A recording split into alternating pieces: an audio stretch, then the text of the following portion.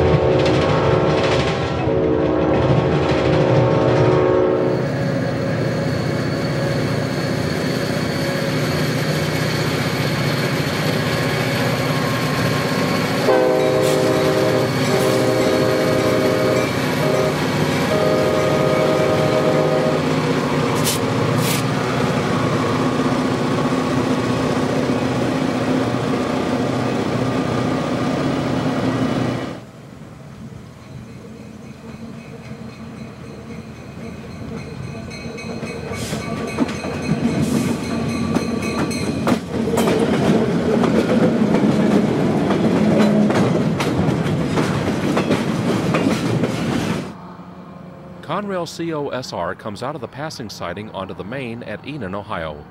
The train is a Columbus to Southern Railroad in Cincinnati transfer.